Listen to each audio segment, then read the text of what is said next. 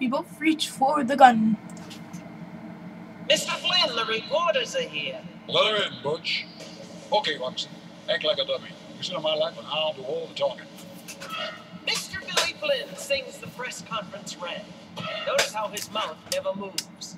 Almost.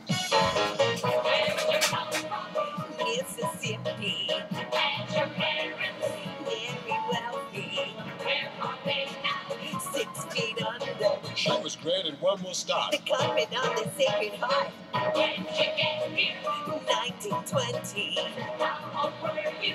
Don't remember. I met Amos and he stole my heart away. Convinced me to alone one day. Convict school. A runaway marriage. Oh, it's torture. Poor, poor dear.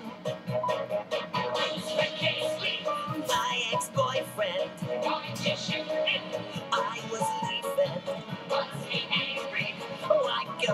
A. Still I said, Fred, move along. She knew that she was doing wrong.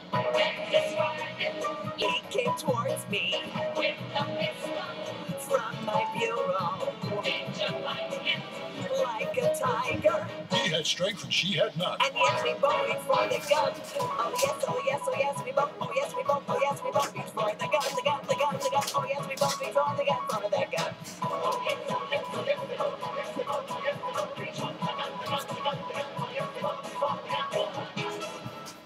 Understandable, understandable. Yes, it's perfectly understandable, comprehensible, comprehensible. Not a bit reprehensible. It's so defensible.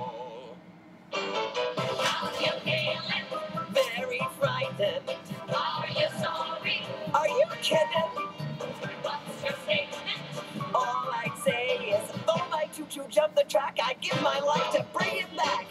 Stay away from jazz and liquor and the men who play for fun. And That's the thought that came upon me when we both reached for the gun.